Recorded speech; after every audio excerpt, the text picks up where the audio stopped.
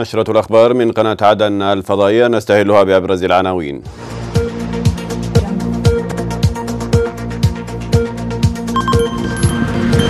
نائب رئيس الجمهورية يشيد بجهود وزارة الثروة السمكية ويلتقي قائد اللواء الأول حرس حدود.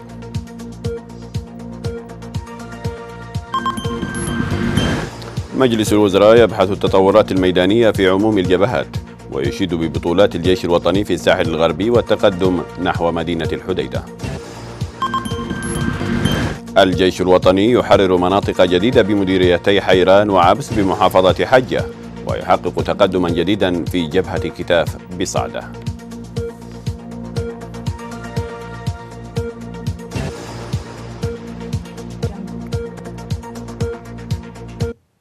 من العناوين إلى التفاصيل بعث فخامة الرئيس عبد رب منصور هادي رئيس الجمهورية برقية عزاء ومواساة إلى باسل صالح عبد البركاني وعبد الله صالح البركاني في وفاة والدهما صالح عبد البركاني وإلى أشقاء الفقيد النائب البرلماني عبد الخالق البركاني ومدير مستشفى مصافي عودن أحمد البركاني. وأشار فخامة الرئيس إلى مناقب الفقيد الوطنية والنضالية حيث كان الفقيد صالح عبد البركاني أحد مناضلي القطاع الطلابي في الجبهة القومية في عدن ومن مناضلي الثورة اليمنية. وعبر عن أصدق التعازي والمواساة لأسرة وأقارب الفقيد سائلا الله العلي القدير أن يتغمده بواسع رحمته ويسكنه فسيح جناته وأن يلهم أهله وذويه الصبر والسلوان. بعث نائب رئيس الجمهورية الفريق الركن علي محسن صالح برقية عزاء ومواساة إلى باسل وعبد الله صالح البركاني وإلى البرلماني عبد الخالق البركاني وإلى مدير مستشفى مصافي عدن أحمد البركاني في وفاة المناضل صالح عبد البركاني. وأشاد نائب الرئيس بمناقب الفقيد الوطنية سائلا الله العلي القدير أن, أن يتغمده بواسع رحمته ويسكنه فسيح جناته وأن يلهم أهله وذويه الصبر والسلوان. أشاد نائب رئيس الجمهورية الفريق الركن علي محسن صالح بالجهود التي تبذلها وزارة الثروة السمكية مشددا على أهمية العمل الميداني والاستماع لمشاكل الصيادين اليمنيين والإسهام في التخفيف من معاناتهم. وأكد نائب الرئيس خلال لقائه وزير الثروة السمكية فهد كفاين أن الشرعية بقيادة فخامة الرئيس عبد الرب منصور هادي رئيس الجمهورية تولي وزارة الثروة السمكية اهتماما خاصا وأنها حريصة على استعادة القطاع السمكي لدوره الطبيعي خاصة وأنه مدخل الرزق لمعظم السكان في المناطق الساحلية. وبما من شأنه التخفيف من معاناة اليمنيين في هذه المرحلة الصعبة التي يعيشها بفعل انقلاب ميليشيات الحوثي المدعومة من إيران. واطلع وزير الس... وأطلع وزير الثروة السمكية نائب رئيس الجمهورية على نشاط الوزارة ودور قطاع الثروة السمكية في رفد الاقتصاد الوطني مستعرضا أنشطة الوزارة والمشاريع الممولة من الحكومة في القطاع السمكي في المحافظات الساحلية والواقعة تحت سيطرة الحكومة الشرعية وكذا جهود الوزارة في تفعيل مكاتب وست... مكاتبها واستعادة النشاط في هذا القطاع الحيوي والهام. وبما من شأنه تحسين المستوى المعيشي للصيادين معبرا عن شكره وتقديره لاهتمام ومتابعة نائب رئيس الجمهورية.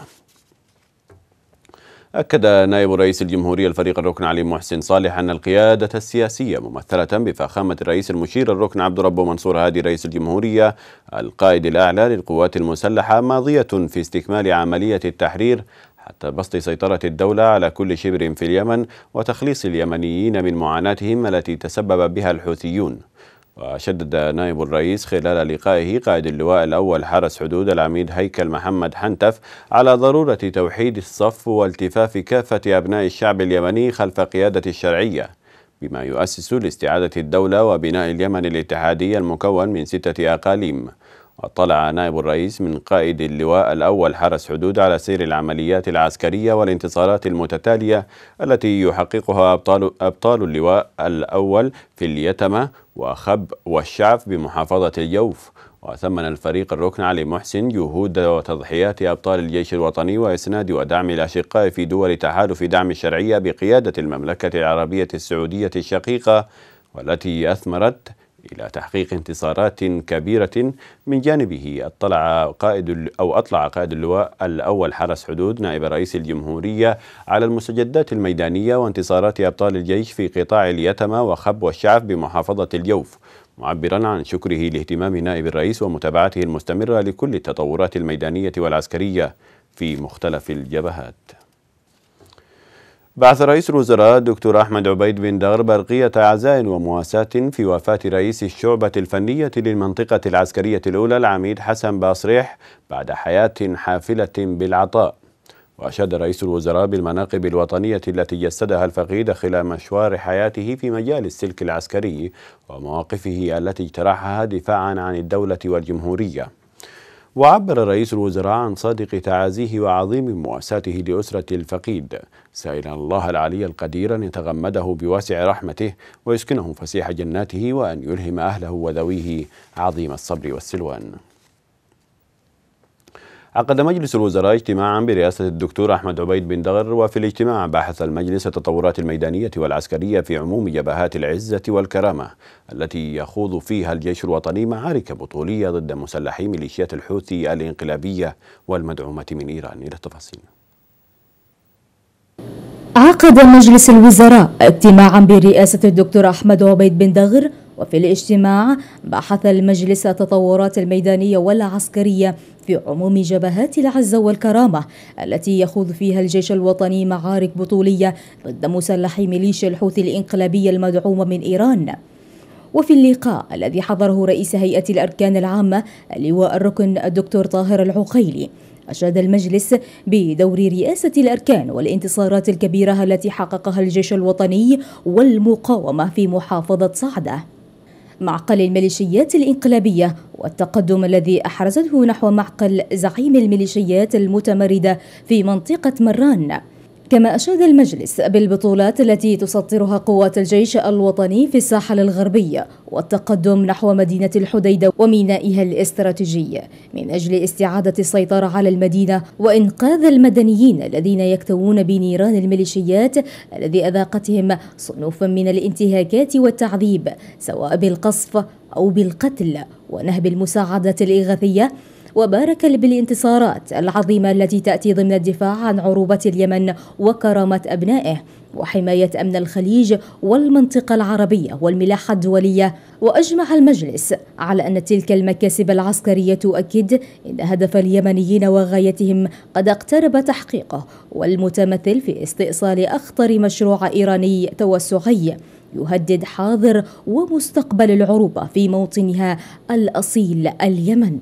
وشعبها الأبي والحر الرافض لاستخدام الطائفية الكهنوتية والأفكار الإيرانية الدخيلة وأشار إلى أن إيران لن تتمكن بعد اليوم عبر ميليشيا الحوثي الإنقلابية هدم وتخريب اليمن لتنفيذ أوهام سادتهم الإمبراطورية التي عفى عليها الزمن وإنه قد حان الوقت ليفوقوا من أوهامهم وسرابهم الخادعة. وحث المجلس على توحيد القيادة العسكرية تحت راية القائد الأعلى للقوات المسلحة والأمن المشير الركن عبد رب منصور هادي وتصحيح الأخطاء من أجل التقدم في سبيل استعادة مؤسسات الدولة وإنهاء الانقلاب بأسرع وقت ممكن. وثمن مجلس الوزراء الدور المحوري الهام الذي تقوم به دول التحالف العربي بقيادة المملكة العربية السعودية الشقيقة وقواتها المرابطة في مختلف المناطق المحررة في إطار دعمهم ومساندتهم لليمن وشرعيتها الدستورية والتي قدمت من جل ذلك وفي سبيله التضحيات الجسام لوأد المشروع الحوثي الإيراني الفارسي في اليمن والمنطقة وفي الاجتماع قدم رئيس هيئة الأركان العامة شرحا مفصلا عن طبيعة وسير المعارك في الجبهات المختلفة والسيطرة الميدانية في جبهات الساحل وصعدة وميدي والبيضاء. والمكاسب العسكرية التي حققها الجيش الوطني والدعم اللوجستي من قيادة التحالف ووضع اللواء ركن الدكتور طاهر العقيلي المجلس على نتائج زيارته الميدانية للمنطقة العسكرية الأولى في سيئون والمنطقة العسكرية الثانية في المكلا والمهرة وكذلك زيارته للعاصمة المؤقتة عدن واجتماعه مع قائد القيادة المركزية الأمريكية الوسطى الجنرال جوزيف فوتيل بحضور قيادات وزارة الدفاع والمنطقة العسكرية الرابعة كما ناقش مجلس الوزراء التقرير السنوي الصادر عن مجلس حقوق الإنسان التابع للأمم المتحدة والتقرير الخامس الصادر عن اللجنة الوطنية للتحقيق في ادعاءات انتهاكات حقوق الإنسان. استعرض الاجتماع حالة حقوق الإنسان في اليمن والجرائم المنتهكة للقانون الدولي والإنساني. التي تمارسها الميليشيات الحوثية المدعومة من إيران بحق المدنيين اليمنيين منذ انقلابها على مؤسسات الدولة مطلع العام 2015 بدءا من محافظة صعدة مرورا بعمران وصنعاء وانتهاء بتعز وعدن وأبدأ المجلس اعتراضه على ما تضمنه التقرير الصادر عن المفوض السامي لحقوق الإنسان بالأمم المتحدة بشأن اليمن وقال إن التقرير اعتمد في كتابته على معلومات مضللة وكاذبة ومزيفة وفقراته تفتقد إلى الحيادية والمهنية. وأشار إلى أن التقرير أغفل الجرائم الإنسانية التي ارتكبتها الميليشيات الحوثية بحق اليمنيين المدنيين في شتى أنحاء اليمن منذ منتصف 2014 المتمثلة في قتل وتشريد المدنيين وتدمير المنازل والإنقلاب على مؤسسات الدولة فضلا عن اختطاف العشرات من المدنيين وزراعة آلاف من الألغام. وقال إنه من غير المعقول أن يغفل التقرير الأممي عن الانقلاب المسلح الذي نفذته ميليشيا الحوثي على شرعية الحكومة الدستورية المنتخبة من عموم الشعب اليمني في 2012 كما تجاهل التقرير جرائم تعذيب المختطفين والتي أدت إلى وفاة العشرات منهم. وأجمع المجلس على أن التقرير أستند إلى بيانات مضللة وإدعاءات بشأن استهدافات خاطئة كما تجاهل أسباب الحرب في بلادنا ونهب الميليشيات الحوثية المدعومة ايرانيا مليارات الدولارات من البنك المركزي اليمني وتدمير المدن والمجازر ضد الأبرياء مطالبا بإعادة النظر فيه وقال إن ميليشيا جماعة الحوثي تمارس ضغوطا على المنظمات الأممية العاملة في صنعاء ويتضح ذلك من خلال البيانات المغلوطة والتي تحمل معلومات غير حقيقية. داعيا المنظمات لنقل مكاتبها إلى العاصمة المؤقتة عدن والعمل بحيادية ومهنية. وشدد المجلس على ضرورة أن يكون هناك حيادية والتزام بمبادئ الأمم المتحدة في العمل الإنساني والإغاثي وعدم أخذ الروايات من الجانب الحوثي وعدم السكوت عما تقوم به الميليشيات الحوثية من اختراقات للقانون الدولي والإنساني. كما وقف المجلس أمام التقرير الخامس الصادر عن اللجنة الوطنية للتحقيق في ادعاءات انتهاكات حقوق الإنسان والذي وضعته اللجنة أمام الرأي العام عبر الموقع الإلكتروني لها. وقالت إن التقرير تضمن وقائع وانتهاكات عديدة من أطراف النزاع في اليمن وقال إن التقرير سجل وفق توثيق دقيق وشامل للانتهاكات وآلية جمع المعلومات التي احتواها جرت على مستوى عال من الأداء والمهنية والحيادية والاستقلالية.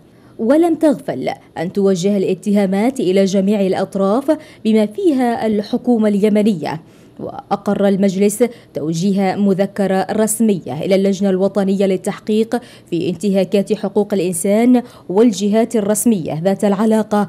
تتضمن ما اتخذ من إجراءات ضمن الجهات والأفراد التي تشير إليهم في التقرير.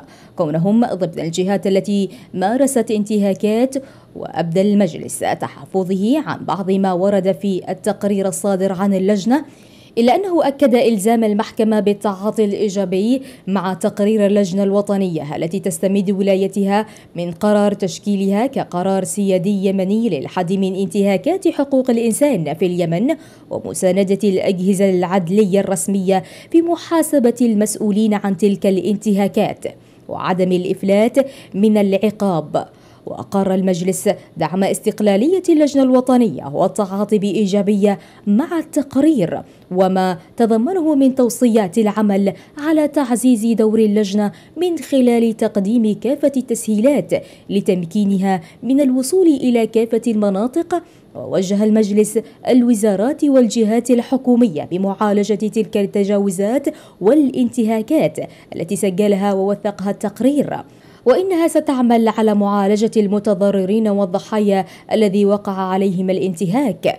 كما كلف المجلس وزارة حقوق الإنسان متابعة سير الإجراءات بما يضمن سير العدالة وحفظ حقوق المتهمين في محاكمة عادلة وحقوق الضحايا في التعويضات وجبر الضرر وفقا لما تقتضيه كل حالة. من جانب آخر عقد رئيس المجلس الوزراء الدكتور أحمد عبيد بن دغر اجتماعا باللجنة الاقتصادية لمناقشة المستجدات والإجراءات الاقتصادية المتخذة من قبل الحكومة المتعلقة بوقف تدهور العملة والحفاظ على قيمة الريال. واستعرض الاجتماع الآلية المتبعة لتنفيذ الإجراءات الاقتصادية المقرة في اجتماع مجلس الوزراء السابق لتعافي الاقتصاد بما يضمن استقرار أو يضمن استقرار الوضع الاقتصادي ويحافظ على قيمة العملة الوطنية. وأكد رئيس الوزراء أن الحكومة تعمل جاهدة على تخفيف معاناة المواطنين واتخذت عددا من الإجراءات والتي أدت إلى تعزيز قيمة الريال برغم الظروف الاقتصادية الصعبة التي تعيشها بلادنا جراء الحرب الهمجية التي شنتها ميليشيات الحوثي الإنقلابية على الدولة ونهبها للاحتياط النقدي الأجنبي. لافتا إلى أن الحكومة تبذل جهودا مضاعفة لتجاوز الوضع الاقتصادي الصعب بالتعاون مع الأشقاء في التحالف العربي بقيادة المملكة العربية السعودية الشقيقة من خلال فتح الاعتمادات لاستيراد المواد الغذائية الأساسية التي تم تحديدها في الاجتماع السابق ضمن مصفوفة الحلول الاقتصادية العاجلة مثل القمح والأرز والسكر والحليب وزيت الطعام والأدوية. وقال رئيس الوزراء إن مصفوفة الإجراءات الاقتصادية العاجلة للتعافي الاقتصادي تتم بشكل منتظم وآلي وبتعاون جميع الجهات الحكومية والخاصة وستكلل بالنجاح مشيدا بالجهود الكبيرة التي تبذلها اللجنة الاقتصادية لمتابعة تنفيذ الإجراءات التي سيسلمها المواطن أو سيلمسها المواطن وتهدف, وتهدف بالدرجة الأولى للتخفيف عنه وتجاوز حالة الهلع التي سيطرت على الشارع خلال الأيام الماضية. وثمن الدعم الأخوي الكبير الذي تقدمه المملكة العربية السعودية لشعبنا اليمني الرامية لإنقاذ الاقتصاد الوطني من خلال الوديعة السعودية التي وجه بها خادم الحرمين الشريفين الملك سلمان بن عبد العزيز آل سعود وولي عهده الأمير محمد بن سلمان والمقدرة بملياري دولار وكذا المشتقات النفطية لتزويد محطات الكهرباء. هذا وأكد رئيس اللجنة الاقتصادية مستشار رئيس الجمهورية حافظ معياد أن اللجنة الاقتصادية في حالة انعقاد دائم ومستمر بإشراف ومتابعة من رئيس الوزراء وذلك لاتخاذ عدد من الإجراءات السريعة والدائمة التي من شأنها أن تعيد الريال قيمته النقدية وتحافظ على الاقتصاد من الانهيار مؤكدا أن الإجراءات التي اتخذت كافلة بإيقاف تدهور الريال. كما أعلن محافظ البنك المركزي الدكتور محمد زمام عن فتح الاعتمادات لتغطية السلع الأساسية عن طريق البنك الأهلي السعودي وبدء تنفيذها وكذلك فتح الاعتمادات الصغيرة دون 200 ألف دولار عبر البنوك المحلية. أشاد وزير الخارجية خالد حسين اليماني بالدور الهام الذي تلعبه الجامعة العربية في دعم الجهود للحكومة اليمنية لاستعادة الشرعية وإنهاء الانقلاب. وجدد الوزير اليماني خلال لقائه في العاصمة المصرية القاهرة الأمين العام للجامعة العربية أحمد أبو الغيط في القاهرة وذلك على هامش الدورة المئة والخمسين لمجلس الجامعة العربية على مستوى وزراء الخارجية. التزام الحكومة اليمنية بالحل السلمي للأزمة رغم تعنت الإنقلابيين وإفشالهم لمشاورات السلام الأخيرة في جنيف.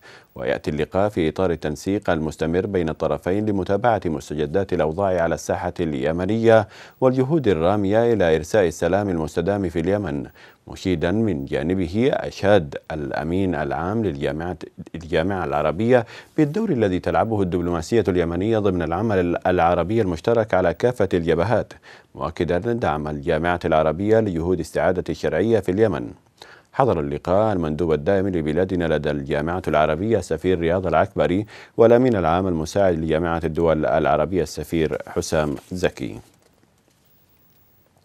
سلم الخضر أحمد علي مرمش فخامة رئيس الجمهوري جمهورية العراق محمد فؤاد معصوم أوراق اعتماده سفيرا لبلادنا لدى بغداد. وبعد أداء مراسم تسليم أوراق الاعتماد رحب فخامة الرئيس العراقي بالسفير الخضر مرمش متمنيا له التوفيق والنجاح في مهام عمله مؤكدا تقديم كافة التسهيلات للسفير من أجل تأدية عمله بما يخدم تطوير العلاقات بين البلدين الشقيقين. ونقل السفير الخضر مرمش للرئيس العراقي تحية فخامة الرئيس عبد رب منصور هادي رئيس الجمهورية لأخيه وتمنياته للشعب العراقي الشقيق إطراد التقدم والازدهار متطلعا إلى أن تشهد العلاقات الثنائية بين البلدين نقلة نوعية بما يخدم مصالح البلدين الشقيقين. وحمل الرئيس العراقي وحمل فخامة الرئيس العراقي السفير مرمش نقل تحياته إلى فخامة الرئيس عبد الرب منصور هادي رئيس الجمهورية وتمنياته له بالتوفيق والنجاح بمهامه في قيادة اليمن في هذه المرحلة الراهنة. حضر مراسم تقديم أوراق الاعتماد رئيس ديوان رئاسة الجمهورية العراقية الدكتور نصير العاني ووكيل وزارة الخارجية شورش خالد. بحث وزير الإدارة المحلية رئيس اللجنة العليا للإغاثة عبد الرقيب فتح مع المستشار بالديوان الملكي المشرف العام على مركز الملك سلمان للإغاثة والأعمال الإنسانية الدكتور عبد الله الربيعة مستجدات العمل الإغاثي وسير العملية الإغاثية والمشاريع الإغاثية الإنسانية المقدمة من المركز لبلادنا في كافة المجالات.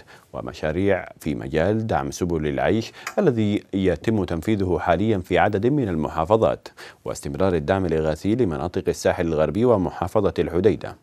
وناقش فتح مع المشرف العام على المركز تنفيذ توجيهات فخامة رئيس الجمهورية لإغاثة نازحي محافظة الحديدة وإقامة مراكز إيواء لهم ورعايتهم وتوفير الدعم المتكامل لهم. كذا وكذا خطة المركز الإغاثية المتكاملة لإغاثة محافظة الحديدة وإقامة مخيم للنازحين في الخوخة والذي يتسع لأكثر من ألف أسرة في مرحلته الأولى إضافة إلى المشاريع المقدمة من المركز في إطار ضمن جهود الأشقاء في دول مجلس التعاون الخليجي لليمن ولمناطق الساحل الغربي ومحافظتي أو محافظة الحديدة في هذه المرحلة. وأشاد فتح بدور مركز الملك سلمان للإغاثة والأعمال الإنسانية في تنفيذ مشاريع دعم سبل العيش في المحافظات المحررة بالتنسيق مع اللجنة العليا للإغاثة تعزيزا لمبدأ الاستقرار وتماشيا مع خطة اللجنة العليا للإغاثة في إطار التوجه الحكومي لتعزيز الاستقرار وتنمية المحافظات المحررة. بدوره أكد المستشار بالديوان الملكي المشرف العام على مركز الملك سلمان للإغاثة والأعمال الإنسانية استمرار المركز في تقديم الدعم الإغاثي والإنساني لليمن في كافة المجالات ومساندة الشعب اليمني في كافة احتياجاته في جميع المحافظات تنفيذا لتوجيهات خادم الحرمين الشريفين الملك سلمان بن عبد العزيز وولي عهده. ميدانيا قالت مصادر ميدانية أن معارك عنيفة دارت بين قوات الجيش الوطني والمدعومة من التحالف العربي وميليشيات الحوثي الانقلابية في محافظة الحديدة. وذكر مصدر عسكري أن قوات الجيش الوطني ممثلة بألوية العمالقة وسعت هجوما على تجمعات ومواقع لميليشيات الحوثي الانقلابية باتجاه منطقة كيلو 16 وتمكنت من قطع جميع خطوط إمدادها بعد السيطرة على عدد من القرى والوديان والمزارع القريبة منها. وأضافت المصادر أن قوات الجيش أصبحت قريبة جدا من السيطرة على كيلو 16 شرق مدينة الحديدة وأضحى خط كيلو 16 الرابط بين صنعاء والحديدة تحت نيران الجيش. وأشار إلى أنه بالسيطرة على كيلو 16 سيتم قطع الخط الرابط بين صنعاء والحديدة وبالتالي سيتم منع الحوثيين من نقل المقاتلين إلى الحديدة ومنعها من إمداد عناصرها في صنعاء بالأسلحة والعتاد القتالية التي تقوم بتهريبه عبر ميناء الحديدة. ولفت إلى أن القوات نجحت في صد هجوم للحوثيين على مديرية الدريهم وتمكنت من أسر العشرات من عناصرها عقب استدراجهم إلى أطراف المديرية ومحاصرتهم حتى نفاذ ذخيرتهم. دمرت بوارج التحالف العربي أسلحة ومركبات تابعة لميليشيات الحوثي الانقلابية شمالي محافظة الحديدة. وقال مصدر ميداني أن أربعة انفجارات هزت الحديدة ناجمة عن قصف البوارج الحربية لأهداف للانقلابيين. أضاف المصدر أن البوارج البحرية التابعة لقوات التحالف قصفت أهدافا لميليشيات الحوثي المدعومة من إيران في الضواحي الشمالية الشرقية لمدينة الحديدة. وقالت مصادر محلية أن القصف استهدف مخازن أسلحة للإنقلابيين في الضواحي الشمالية للحديدة ودمرها تزامن ذلك مع تجدد القصف المدفعي بين القوات المشتركة وميليشيات الحوثي الانقلابية في مناطق قوس النصر وكيلو سبعة وكيلو عشرة وبالقرب من المدخل الشرقي لمدينة الحديدة عند نقطة كيلو سبعة عشر. حررت قوات الجيش الوطني مسنودة بالتحالف العربي مواقع وقرى جديدة كانت تتحصن فيها ميليشيات الحوثي الانقلابية بمديريتي حيران وعبس بمحافظة حجة. وأوضح مصدر عسكري أن وحدات من قوات المنطقة العسكرية الخامسة نفذت هجوما مباغتا من ثلاثة محاور تمكنت خلاله من تحرير ثلاث قرى وكانت تتحصن فيها الميليشيات شرقي مديرية حيران. وتمكنت من تحرير عزلة بني حسن التابعة لمديرية عبس بالكامل إضافة إلى تقدم شمالا باتجاه مثلث عاهم وقطع أهم خطوط إمداد الميليشيات الانقلابية في جبهتي حرض وحيران. وأكد أن المعارك أسفرت عن سقوط قتلى وجرحى من عناصر ميليشيات الحوثي الانقلابية فيما تمكن أبطال الجيش الوطني من اعتقال 15 عنصرا أو 15 عنصرا من عناصر الميليشيات الانقلابية واستعادة كميات من الأسلحة والذخائر المتنوعة. واستهدفت مقاتلات التحالف العربي بخمس غارات مركز, مركز ومواقع وتجمعات وتعزيزات لميليشيات الحوثي الانقلابية وأسفرت عن سقوط قتلى وجرحى في صفوفها وتدمير معدات قتالية. ولفت إلى أن التقدم الذي أحرزته قوات الجيش الوطني يأتي في إطار عمليات المنطقة العسكرية الخامسة لاستكمال تحرير مديرية حيران ومثلث عاهم والتقدم جنوبا باتجاه مديرية عبس. في صعدة حققت قوات الجيش الوطني مسنودة بقوات التحالف العربي تقدما جديدا في مديرية كتاف في البقع شمالي المحافظة. وسط تراجع في صفوف ميليشيات الحوثي الانقلابية وسقوط عدد من عناصرها بين قتيل وجريح. وأكد مصدر ميداني أن قوات الجيش الوطني مسنودة بطيران التحالف العربي تمكنت من تحرير عددا من المواقع في جبهات كتاف البقع ومنها تحرير التباب الرملية بالكامل وأجزاء واسعة من سلسلة جبال أضيق والمحجوبة الاستراتيجية. وأضاف المصدر أن ميليشيات الحوثي الإنقلابية تكبدت خسائر بشرية ومادية كبيرة جراء المعارك. وغارات طيران التحالف العربي استهدفت تجمعات وتعزيزات للميليشيات الحوثية وتمكنت من تدمير عدة أو عدة عربات قتالية رباعية الدفع ورشاش 23 ومعدات قتالية أخرى. ولفت المصدر إلى أن المعارك لا تزال مستمرة وأن قوات الجيش الوطني تواصل تقدمها بثبات حسب الخطط المرسومة وسط انهيارات وخسائر بشرية ومادية كبيرة في صفوف ميليشيات الحوثي الانقلابية والمدعومة من إيران. أعلنت وزارة التربية والتعليم في العاصمة المؤقتة عدن نتائج اختبارات الثانوية العامة بقسميها العلمي والأدبي وأسماء العشرة الأوائل على مستوى المحافظات المحررة في الجمهورية. وأكد الأوائل على مستوى كل محافظات للعام الدراسي 2017-2018 وفي الحفل هنأ وزير التربية والتعليم الدكتور عبد الله لملس الطلاب والطالبات الناجحين منوها بجهود أعضاء اللجنة العليا للاختبارات ورؤساء المراكز والسلطات المحلية واللجنة الأمنية والمشرفة في إنجاح الاختبارات وفق. وفق الوقت المحدد لها وأكد الدكتور لملس حرص الوزارة على تخطي الصعوبات والعراقيل الذي تركتها مخلفات الحرب الانقلابية على الشرعية في كافة مستويات العملية التعليمية والتربوية. لافتا إلى أن الوزارة ستتعامل بحزم مع ظاهرة الغش وستتخذ الإجراءات العقابية الصارمة في هذا الشأن. من جانبه استعرض وكيل وزارة التربية والتعليم رئيس اللجنة العليا للاختبارات الدكتور صالح الصوفي نتائج الثانوية العامة موضحا بأنه بلغ عدد المتقدمين للاختبارات الثانوية العامة 78283 طالبا وطالبة منهم سبعة وستون ألفا وثلاثمائة وواحد وثمانين طالبا وطالبة في القسم العلمي وعشرة آلاف وتسعمائة واثنين طالب وطالبة في القسم الأدبي. وأشار إلى أن إجمالي الطلاب الذين حضروا الاختبارات 75014 طالبا وطالبة منهم 64409 طلاب وطالبات وفي القسم العلمي وعشرة آلاف وستمائة وستة طلاب وطالبات في القسم الأدبي فيما بلغ عدد الناجحين 66450 طالبا وطالبة منهم 57338 طالبا وطالبة في القسم العلمي و9212 طالبا وطالبة في القسم الأدبي. ورسب في الاختبارات 6302 طالب وطالبة منهم 5919 طالبا وطالبة في القسم العلمي و1283 طالبا وطالبة في القسم الأدبي. حضر إعلان النتيجة وزير التعليم العالي الدكتور حسين باسلامة ونائب وزير التعليم الفني عبد رب المحولي ورئيس جامعة عدن الدكتور الخضر ناصر الأسور وفيما يلي أسماء الطلاب الأوائل ودرجاتهم. أولا القسم العلمي.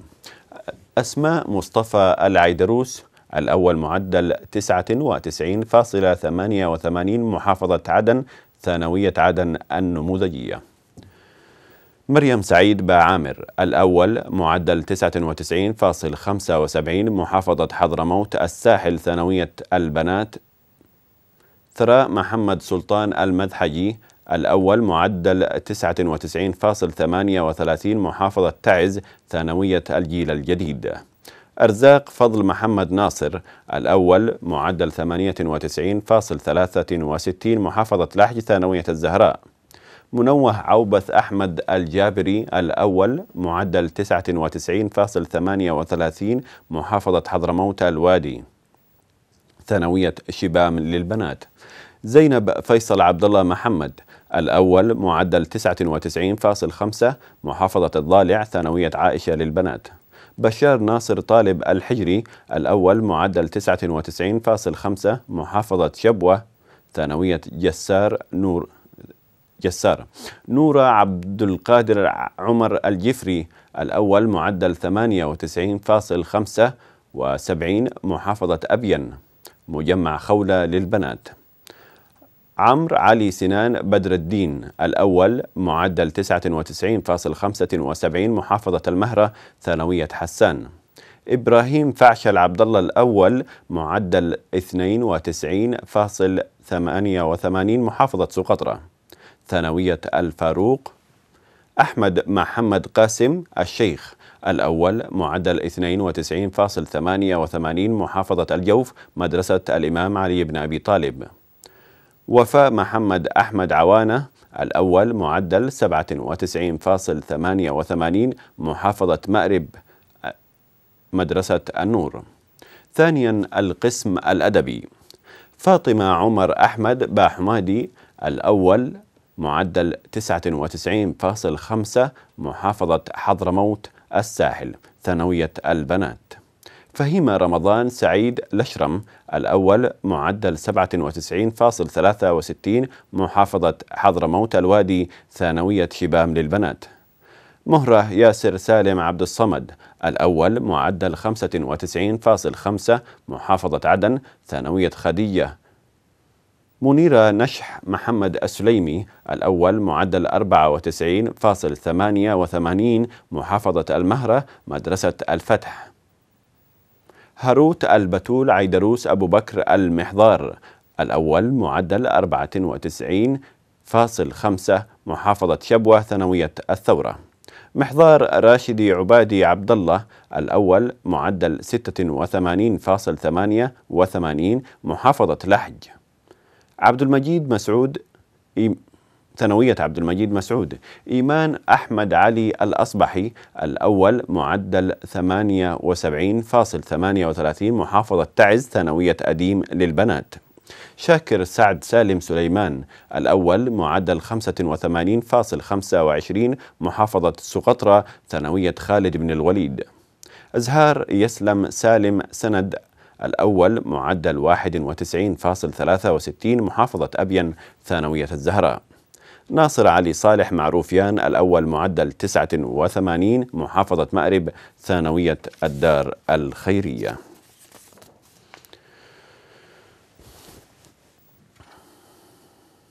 من جانب آخر أكد وزير التعليم العالي والبحث, والبحث العلمي الدكتور حسين باسلامة ونائب وزير التعليم الفني والتدريب المهني عبد رب غانم المحولي على أهمية التعاون المشترك في مجال البحث العلمي والتطوير للمناهج الدراسية ضمن المعايير الحديثة التي تواكب التطورات العلمية في العملية التعليمية.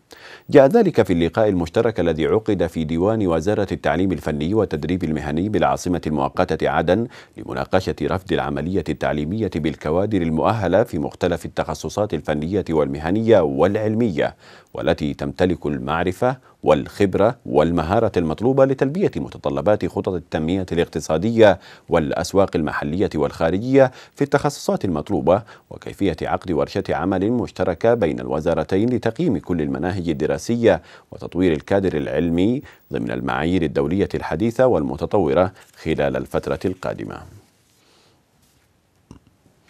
تفقد القائم بأعمال محافظ عدن الوكيل الأول للمحافظة أحمد سالم ربيع علي أعمال رصف الجزر الوسطية في شارع الدكة بمديرية المعلى حيث استمع سالمين من وكيل محافظة عدن لقطاع المشاريع المهندس غسان الزامكي إلى شرح عن المشروع الذي يتم تنفيذه بتمويل من الصندوق الاجتماعي للتنمية. وأشاد سالمين بالدور الكبير الذي يقوم به الصندوق في الجانب التموي والدفع باتجاه تسريع عجلة التنمية. في البلاد.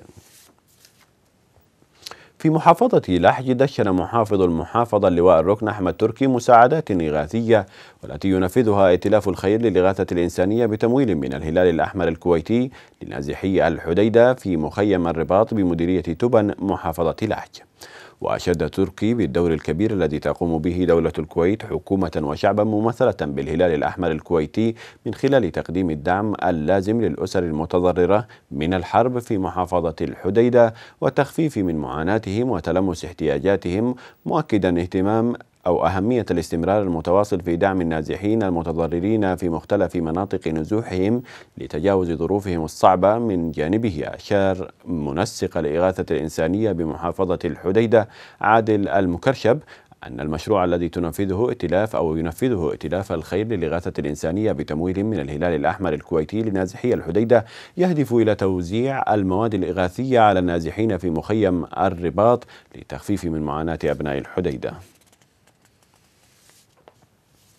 اولا شرف كبير نحضر آه، إلى المخيم مخيم النازحين من أبناء الحديدة وكذلك لنا شرف كبير آه، بحضور الأخوة ممثلين الهلال الأحمر الكويتي طبعا الهلال الأحمر الكويتي له بصمات كبيرة وله آه، بصمات في جميع مجالات الحياة مع الشعب اليمني إن كان مع النازحين وإن كان في إطار المحافظات بشكل عام.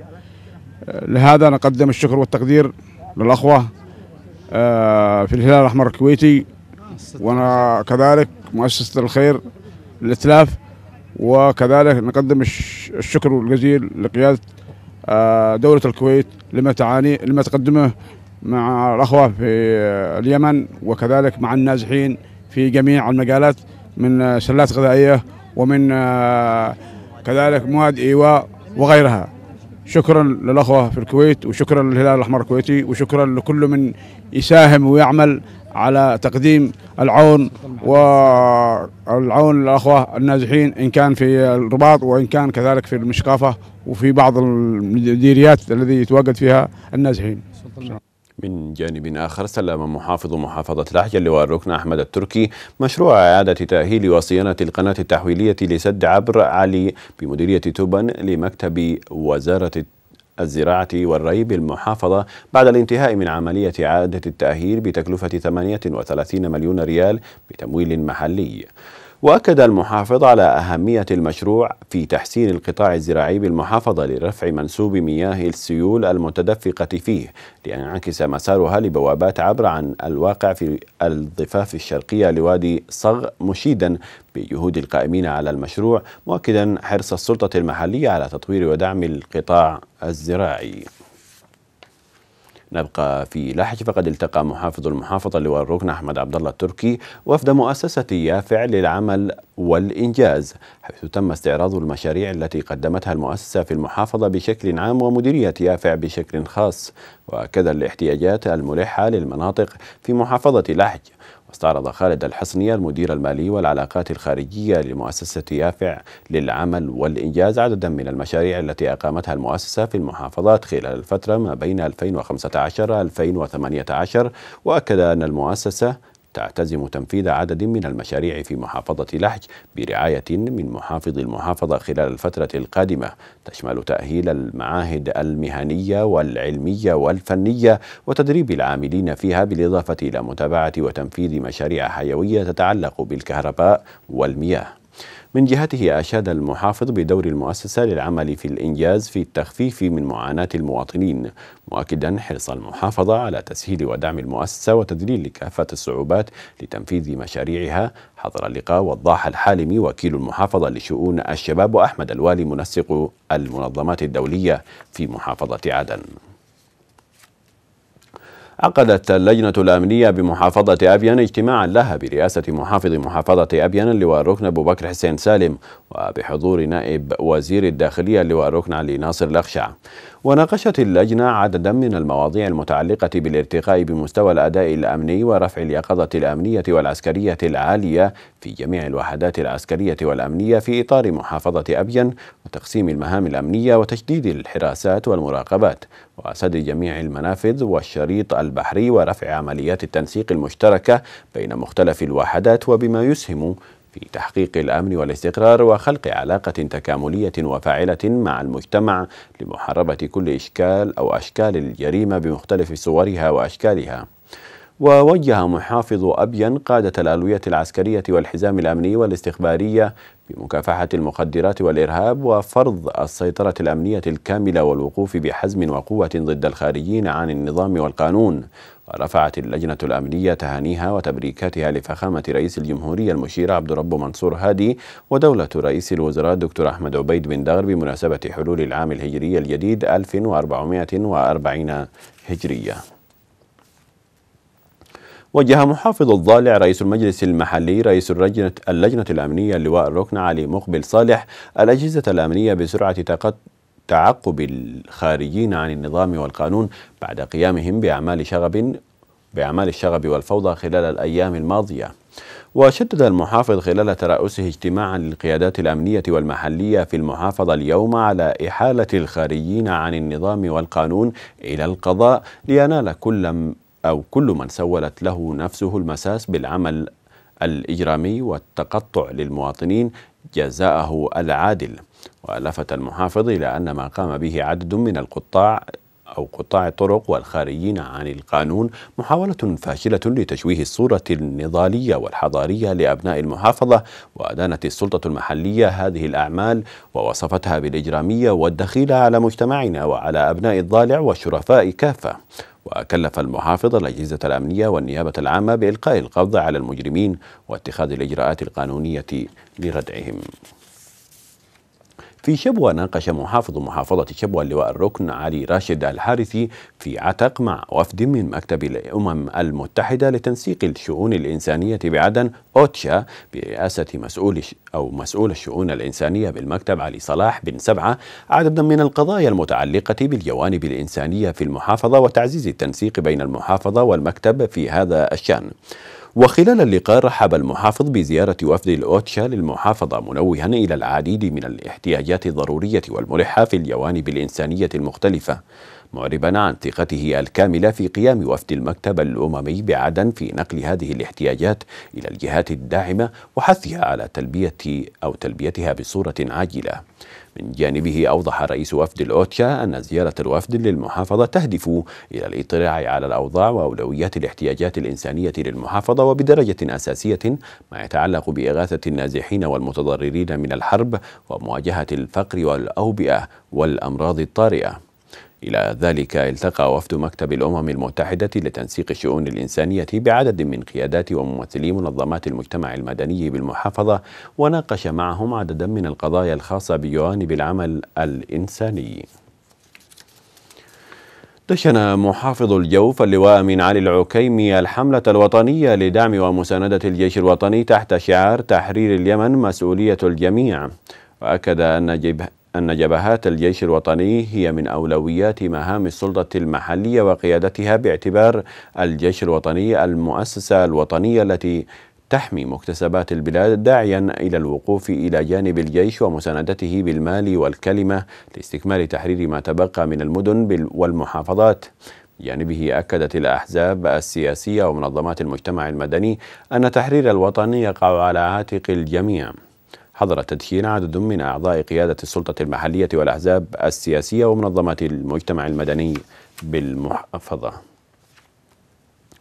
عقد في مكتب الصناعة اجتماعا برئاسة نائب وزير الصناعة سالم الوالي تم فيه مناقشة آليات تطبيق المعايير الخاصة باستيراد السلع الغذائية الأساسية والأدوية. إلى تفاصيل. رأس نائب وزير الصناعة والتجارة سالم سلمان الوالي صباح اليوم بمكتب الصناعة بعدن. اجتماعا حضره الإخوة وكيل أول وزارة الصناعة والتجارة علي عاطف ومدراء عموم الوزارة فصل ويلح ومحمد عباد وعددا من مدراء الإدارات بالوزارة. وخلال الاجتماع أكد الأخ نائب وزير الصناعة والتجارة سالم الوالي أن تطبيق الآليات التي سيتم من خلالها تطبيق عدد من الشروط والمعايير التي من شأنها وضع قاعدة للتعامل مع التجار المخولين والمسموح لهم باستيراد المواد الغذائية الأساسية كالقمح والأرز والسكر والزيت واللبن. وأكد نائب الوزير الوالي أن الكشف الذي سيتم اعتماده من قبل مكتب الوزارة وسيتم من خلاله تطبيق كافة المعايير مع استيعاب التجار القادرين على استيراد تلك المواد الغذائية وبالأسعار المعقولة. باتفاقنا مع الغرفة التجارية ونائب رئيس الاتحاد في عدن والغرفة التجارية عدن بأن بأننا سوف نعمل محاذير أساسية للتجار الذين يتلاعبون بالأسواق. أيضا أن إحنا سوف نعد لهم نحيل أي مخالف لهذه الآليات إلى النيابة. والنيابة سوف تتعاون معنا في ضبط المخالفين قدر الإمكان. الدولة لن تصمت على هذه الاختلالات الغير مشروعة والغير مبررة الموجودة اليوم في السوق. وسوف تقدم كل المساعدات الممكنة والتسهيلات الممكنة لتوفير أولا المواد الاستهلاكية بالذات والأدوية إلى السوق وعودة تنظيم آلية السوق من البيع والشراء. كما تم التأكيد خلال الاجتماع أن الوزارة ومكتبها سيقومان بإعداد لوائح سوداء وبيضاء وسيتم خلالها تحديد أسماء التجار المتلاعبين بأسعار السلع الغذائية. وكذا أسماء التجار الذين يدعمون السوق بالمواد الغذائية مكتفين بالهامش الربحي اليسير الذي لا يأتي على قوت المواطن وحسابه. عامل التنافس في وضع أو في طرح أسعار تكون هي المناسبة وتكون هي الأقل. إحنا الهم الهم الأساسي لهذه المخرجات الهم الأساسي هو المواطن. في كيف يحصل على رغيف الخبز؟ كيف يحصل على قطرات الزيت؟ كيف يحصل على حتى مخرجات الألبان التي تدخل في صلب الغذاء الأساسي للمواطن. وبالتالي بالتالي هي هي مسألة السعر ومسألة الالتزام ومسألة القدرات وإمكانيات التاجر الذي سيقوم سيكلف أو سيسمح له باستيراد هذه السلع الأساسية. ويأتي هذا الاجتماع بالترافق مع الخطوات التي تقوم بها السلطة المحلية بشأن ضبط المتلاعبين بأسعار العملات التي أثر ارتفاعها سلبا على أسعار السلع. وهما أمران يصبان في مصلحة المستهلك بالدرجة الرئيسة. لبيب محمد علي لقناة عدن الفضائية العاصمة المؤقتة عدن. عقدت بمحافظة مارب ورشة العمل الفنية لمحطة البحوث الزراعية لمناقشة البرامج البحثية للموسم الزراعي الحالي وأنشطة المواسم الزراعية السابقة والدراسات البحثية للأصناف الجديدة من المحاصيل الزراعية. شعار من أجل تنمية زراعية مستدامة. تعالج الوضع الاقتصادي وتحسين الأمن الغذائي. عقدت هنا بمحافظة مارب فعاليات ورشة العمل الفنية المشتركة بين محطة البحوث الزراعية للهضبة الشرقية والإرشاد الزراعي. تهدف الورشة على مدى يومين متتاليين إلى استعراض للتغارير البحثية والدراسات في مجال الإرشاد الزراعي والبحث في مختلف المحاصيل والمنتجات الزراعية لمحطة البحوث الزراعية هنا بمحافظة مارب. العمل البحثي والإرشاد الزراعي مثلان المرتكز الأساسي للنهوض بالقطاع الزراعي بشقه النباتي والحيواني والارتقاء بمستوى الأداء وتحسين جودة الإنتاج. هذا موضحه مدير عام محطة البحوث الزراعية المهندس قائد أبو أصبع. 2017 2018 تم تنفيذ 13 نشاط بحثي توزعت على أربعة مشاريع بحثية. هذا المشاريع سوف يستعرضها الأخ عبد الناصر الآن بالأنشطة حقها كما تم تنفيذ نشاط انتاج بناء على قرارات وتوصيات ورشة العمل السابقة 2017 وحضرها الدكتور مفتاح والدكتور عبد الله علوان فكان من مقررات هذا أن نقوم بعمل أو بسيط بعمل المؤسسة العامة حيث هي غائبة منذ أكثر من عشر سنوات. المؤسسة العامة للدكتور لإكثار بذور البذور المحسنة في المنطقة الشرقية. الهيئة العامة للبحوث الزراعية تلعب دورا كبيرا في إنجاز البحوث الزراعية إلى حيز الوجود وجهودها ملموسة على أرض الواقع. وأوضح الدكتور عبد الله علوان نائب رئيس مجلس إدارة الهيئة العامة للبحوث الزراعية بالإنتاج الزراعي مثل أهمية كبيرة على مستوى محافظة الجمهورية. لأن القطاع الزراعي يعد أحد الركائز الرئيسية لتوليد الدخل القومي وتوليد الناتج المحلي وتشغيل العمالة وهو أحد القطاعات الاقتصادية التي تساهم في تحقيق النمو الاقتصادي وهو الأساس في معظم الصناعات والمسؤول الأول عن تحقيق الأمن الغذائي القومي لليمن. القطاع الزراعي نشاط تقليدي أساسي يرتبط به أكثر من 72% من السكان. نيابة عن الأخ محافظ المحافظة اللواء سلطان بن علي العرادة يشرفنا جميعا أن نحضر مثل هذه الفعالية التي ينشدها أبناء الشعب اليمني الذي ينتظرون نتائج مثل هذه البحوث الزراعية التي تساعد المزارعين. نحن اليوم في ظل في ظل الظروف الاستثنائية الذي يمر بها وطننا الحبيب دأبت محافظة مأرب للحفاظ على مؤسساتها وكان من ضمن هذه المؤسسات مؤسسة مركز البحوث في محافظة مأرب. تأتي هذه الورشة في إطار ما تشير محافظة مأرب بالاهتمام في القطاع الزراعي بشقه النباتي والحيواني وتوسع أيضا في الرقعة الزراعية لمختلف المحاصيل والمنتجات الزراعية.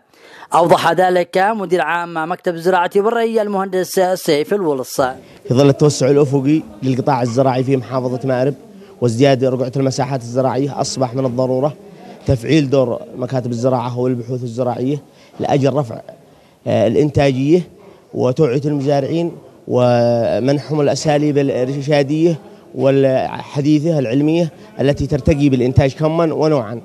شهدت ورشة العمل تكريم من بذلوا الجهود في تطوير العمل وتحسين مستوى الأداء والرفع من مستوى الإنتاج الزراعي لمختلف المحاصيل. وذلك دعما من قبل الجهات المعنية وغير السلطة المحلية والجهات ذات العلاقة. لقناة عدن الفضائية محمد القداسي محافظة مارب. في تعز دشن في المحافظة العملية التعليمية حسب ما قررته وزارة التربية والتعليم من العاصمة المؤقتة عدن لبدء عام دراسي جديد. مزيدا من التفاصيل في سياق التقرير التالي. دشن مكتب التربية والتعليم بمحافظة تعز العام الدراسي الجديد 2018-2019 في المدارس المدينة المحررة مع زيارات ميدانية للمدارس من قبل مدير عام مكتب التربية والتعليم عبد الواسع الشداد والعديد من الشخصيات الاجتماعية والسياسية والتربوية والأمنية لتشجيع المجتمع على التعليم. انطلاق العملية التعليمية في محافظة تعز وكانت البداية من هذه المدرسة التي رأيتم ورأينا جميعا بأم أعيننا آثار الدمار الذي طال هذه المدرسة وتعتبر آهلة للسقوط ولكننا مع ذلك مصممين على أن تسير العملية التعليمية في هذه المدرسة وغيرها من مدارس المحافظة بالوضع الذي نستطيع أن نصل إليه. يتجمع أبنائنا الطلاب وأخواننا المعلمين في القطاع التربوي وترون وتشاهدون. هذا الحشد من المعلمين والطلاب. الكل يقول لا للحرب لا للدمار. نحن مع التعليم مع الثقافة. تعز هي عاصمة الثقافة وستعود إلى دورها الريادي التي كانت عليه مهما حاول الأعداء من محاصرتها ومن إرسال الحمم والقذائف ليلا ونهار إلى داخل المدينة لكننا مع ذلك نقول سنبدأ عامنا الدراسي في هذا اليوم الذي أقرته وزارة التربية والتعليم تسعة تسعة وانطلقت اليوم العملية التعليمية بإذن الله وسيكون عام حافل بالجد والاجتهاد وعام تحت شعار المتابعة الجادة للحقوق والواجبات. رغم أن التعليم حق أساسي إلا أن الحرب خلفت الكثير من المدارس مهدمة في تعز إلا أن إصرار الطلاب على تكملة مشوار تعليمهم حتى في المدارس المهدمة وعلى الأرض. إحنا نشتي نتعلم حتى بالدمار عادي أهم شيء نتعلم. كانت مدرسة أروى تحتضن طلبة العلم وما زالت تحتضن طلابها. فأنا كطالبة ترعرعت وتربيت في مدرستي وتعلمت فيها منذ طفولتي لكن رغم دمارها وخرابها لم أستسلم لآلامها ولم أستسلم لظروفها التي واجهتنا خلال الحرب ولم نخضع للجهل. فدرسنا في مركز التحفيظ فنحن الجيل القادم جيل جيل الغد المشرق جيل العلم. بدأ العام الدراسي في محافظة تعز وكل أطفالنا يدرسون حتى في ركان الدمار. هذا هو العلم في محافظة تعز. نعم خالد قناة على الفضائية تعز. دشن أو دشن مدير عام مديرية البريقة بمحافظة عدن هاني محمد اليزيدي العام الدراسي الجديد 2018-2019 في عموم مدارس المديرية. جاء ذلك خلال زيارته لمكتب التربية والتعليم بالمديرية واستمع من الخضر سالم بجلة حول التجهيزات والاستعدادات لاستقبال العام الدراسي الجديد مشيرا إلى أن عددا من طلاب مديرية البريقة لهذا العام بلغ أكثر من 26 ألفا وبمختلف المراحل الدراسية وشدد اليزيدي على ضرورة الاستفادة من كافة السلبيات والمعوقات التي رافقت العام الدراسي الماضي والعمل على تلاشيها مؤكدا حرص القيادة في السلطة المحلية بالمديرية على تقديم كافة أوجه الدعم والمساعدة لإنجاح العام الدراسي الجديد. نختم من أبين ففي زنجبار ناقش مكتب التنفيذي برئاسة غسان شيخ مدير عام مديرية زنجبار أداء ونشاط عدد من مكاتب الوزارات والأجهزة التنفيذية والوحدات الإدارية بمديرية زنجبار. وتم مناقشة الآلية التي سيتم بها استلام مرتبات الموظفين من البنك المركزي فرع عدن وتأمين وصولها إلى مديرية زنجبار بالتنسيق مع الأجهزة الأمنية بالمديرية بالإضافة إلى ذلك تم التهيئة لإعداد الموازنة للمكاتب التنفيذية واحتياجها بما يتناسب مع احتياج المواطن ومتطلبات التنمية وفي مختلف الجوانب الخدمية. وخلال الاجتماع شدد مدير المالية بحضور الضمناء على أمناء الصناديق للمرافق في المديرية ومعاينة أنشطتهم التجارية على الواقع. كان هذا آخر خبر في نشرتنا ولمن فاتته النشرة هذا تذكير بأبرز العناوين.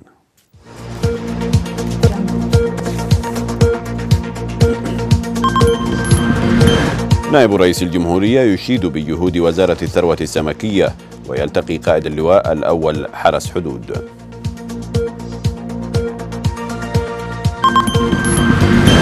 مجلس الوزراء يبحث التطورات الميدانية في عموم الجبهات ويشيد ببطولات الجيش الوطني في الساحل الغربي والتقدم نحو مدينة الحديدة.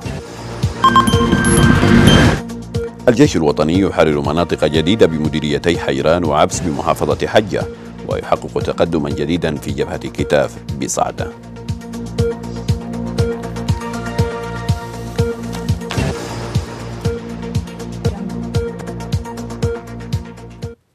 وصلنا إلى نهاية النشرة. إلى اللقاء.